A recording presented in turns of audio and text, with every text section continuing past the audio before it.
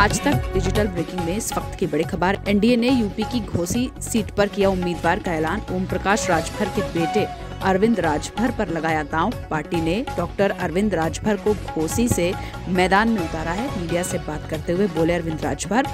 BJP शीर्ष नेतृत्व और सीएम योगी का किया धन्यवाद